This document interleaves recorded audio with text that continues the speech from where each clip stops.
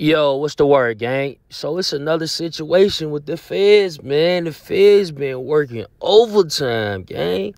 I don't know what they got going on. Man, if you out there right now, you listen to this and you got some activities going on that the feds can be looking into, bro, go run and hide, my boy. Don't wait till the last minute to start booking flights.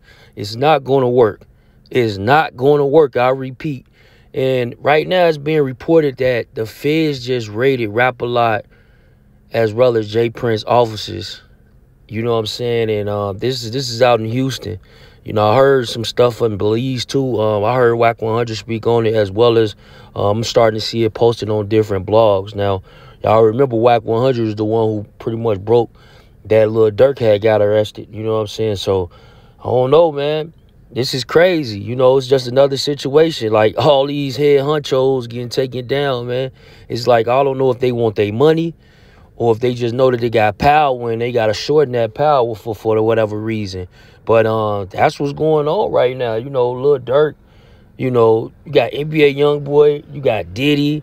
You know, you got a bunch of executives stepping down who've been in roles for shit 20 years. You know I'm saying? Running the music industry they stepping down. Like, I don't know who it is, the powers that be that's coming around telling these guys, like, look, man, you either can choose to go left or you can keep going straight or you can go right. And I don't know which one they prefer, but something is taking place, man. Something is taking place that's bigger than us, man, that, that we won't even be able to father and put together. But the FBI is definitely on the hunt right now. It's election year. You know, they putting them numbers on the board, you know, bringing them cases in. You know, a lot of this stuff, you know, 98, what is 95, 98 conviction rate. So, you know, it's kind of ugly, you know. But y'all get in the comments and y'all let me know what y'all think.